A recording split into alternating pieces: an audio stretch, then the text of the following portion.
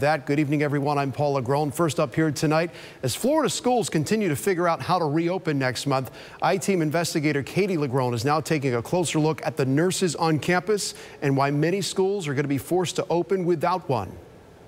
It's a place we've never been. Part of this is um, the fear of the unknown. Schools preparing to welcome back students with new rules on masks, social distancing, and which symptoms prompt rapid response. We're not going to take any chances. This is back to school amid a pandemic. We will see illness in our schools when we open them. As Florida educators iron out how to open school doors to students during a health crisis, we've learned many schools will be doing it without a full time certified school nurse on campus. Obviously, a trained school nurse um, in whatever capacity on campus is the the best solution. Linda Kearschner is president of Florida's PTA. We've had an active voice on that issue probably since the early 70s. Equipping Florida schools with a full time school nurse has been a decades old fight. According to the Centers for Disease Control, schools should have one school nurse for every 750 students.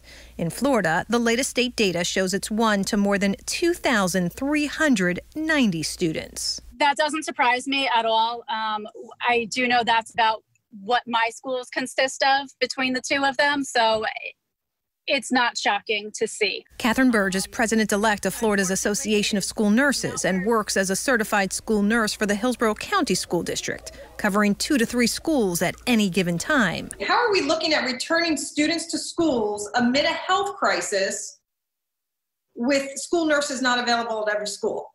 School districts really need to come up with a plan in place and make sure that there is someone with a health experience in the schools. In Florida, school nurse certification is not a requirement on campus. And while many districts tout having a licensed practical nurse or LPN at each school, they lack the qualifications of a registered nurse who often cover multiple campuses at a time. There are some counties across our state that have, uh, some nurses have five or six schools apiece. Lisa Kern is supervisor of health services for Pasco County Schools, where each school has an LPN, and of its 45 RNs, each one covers two to three schools at a time. Times like these are when this inequity and in terms of the resources, um, a light is definitely shown on them. Um, and it reminds us all of areas that we need to definitely improve some districts now tell us they are using CARES Act funding to ramp up their roster of registered nurses. I'm I-Team investigator Katie LaGrone taking action for you.